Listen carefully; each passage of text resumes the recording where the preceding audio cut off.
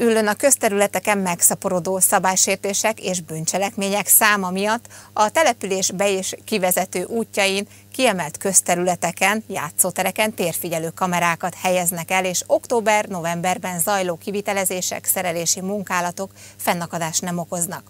A nyolc ülői helyszínen elhelyezett 18 kamera várhatóan decemberben kezdi el működését.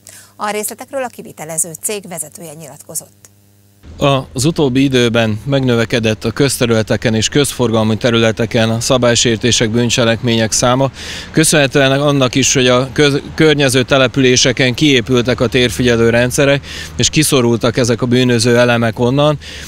Ülő nem szeretné, hogyha ezek az elemek itt tartósan jelen lennének, ezért döntött az önkormányzat a rendszer megépítése mellett. Gyakorlatban mindez mit jelent technikai szempontból? A településnek a be- és kivezető útjain kerülnek felszerelésre rendszámfelismerő kamerák, ezek a teljes gépjármű forgalmat naplózzák és visszakereshetővé teszik, valamint a kiemelt közterületeken, játszótereken kerülnek elhelyezésre olyan kamerák, amiken nappal is és éjjel is minden esemény, arc és cselekmény felismerhető és rekonstruálható. Ki kezelheti ezeket a kamerarendszereket? Ez egy nagyon neuralgikus pontja a történetnek, hiszen olyan kamerarendszerről van szó, amelyiknek a, a terében az állampolgár akarva akaratlanul jár, nem tudja elkerülni, nem tudja kikerülni.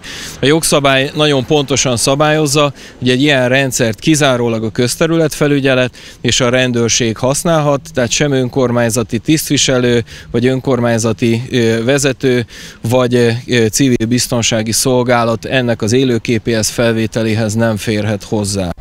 A lakosság, az ülői lakosság mire számíthat a térfigyelő kamerarendszer kivitelezése, tehát a beruházás elkészítése során? 2020. október-novemberében zajlanak helyszíni munkák. Ez azt jelenti, hogy időnként a bevezető utak mellett lehet majd látni lebolyázott helyszíneket, illetve a, a különböző közösségi tereknél zajlanak majd szerelések. Ezek különösebb fennakadást nem okozunk, illetve 2020. novemberében készül el az összeköttetés a rendőrséggel, Monori kapitánysággal és a helyi őrssel. Mind a két helyen elérhető lesz a rendszer, az átadás után azonnal funkcionál mikor várható az átadás, a beruházás befejezése? Hivatalosan 2020. december közepe, de nagyon bízunk benne, hogy ha az időjárás is olyan lesz, akkor erre már november során sor kerül.